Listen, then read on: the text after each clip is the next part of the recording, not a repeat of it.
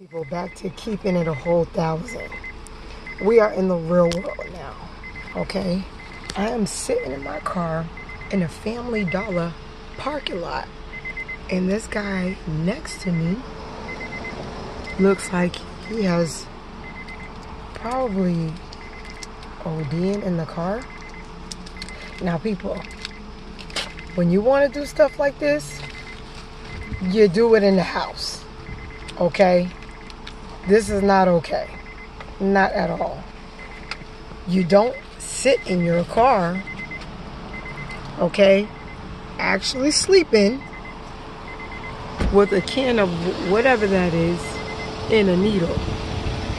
Right there. I don't know if you guys can see it, but there's a needle in his hand. All right, there's a booster seat in the car. People, please not okay. Called keeping it a thousand.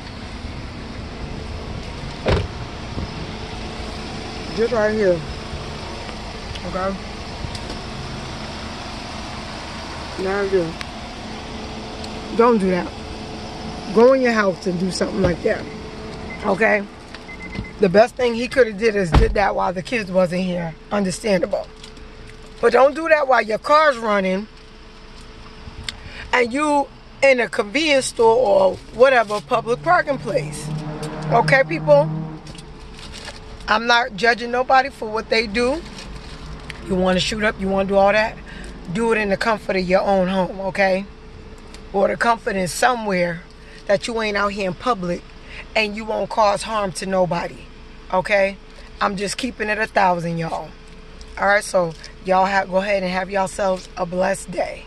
All right what I'm going to do is I'm going to call 911 and make sure this I'm going to actually sit here for another maybe two minutes, not even, and then I'm going to call the ambulance and see if they can come get him. All right?